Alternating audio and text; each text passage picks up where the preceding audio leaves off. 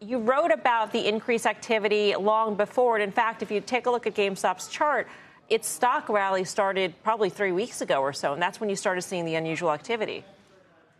That's correct. It's it's difficult to call anything unusual in GameStop options. However, going back about two to three weeks, there was a large amount of very far out of the money call options bought. This started in April 26th into the first week of May, and the strike was is centered around the 30 strike. Oh, about 70,000 of the May 30 calls traded over the last two to three weeks, and it seemed to really set the groundwork for this move when the time seemed to line up.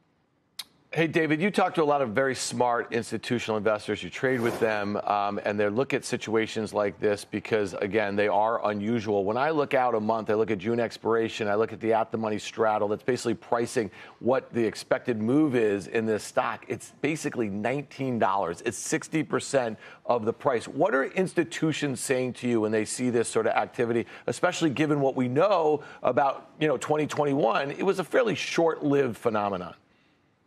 So there's two sides of this. I'm seeing both sides of it. On one hand, traders that think that the stock is detaching from its fundamental value have limits in how they can bet against the stock reverting back lower based on it being too dangerous to sell this uh, this stock short. So there there was a huge uh, uh, there was a large amount of puts traded today, 11 times the normal daily volume traded in puts. So there are people buying puts thinking the stock's going to go lower. However, some of the institution accounts that I speak to remember in January 2021, the move had more legs than I think a lot of people realized. That once this move happened, thinking about the supply and demand of who's buying the stock, who's selling the stock, it was it didn't revert lower immediately. It, it kept a floor to it. So I did see some players looking to play the stock, saying somewhat range bound, because as you pointed out, the options are extremely expensive right now.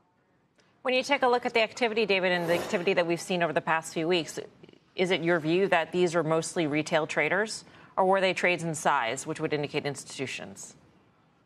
I think I think both, but I think institutions were definitely involved, given the size of what's traded.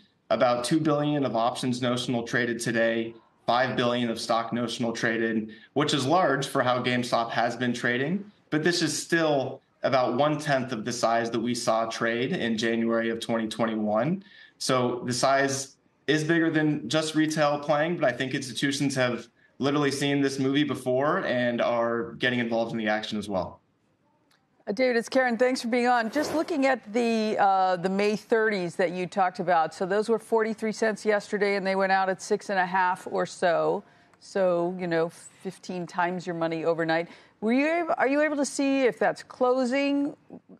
If those are sales to close, or what, what was the activity in there today? It was a lot of, obviously, a lot of volume.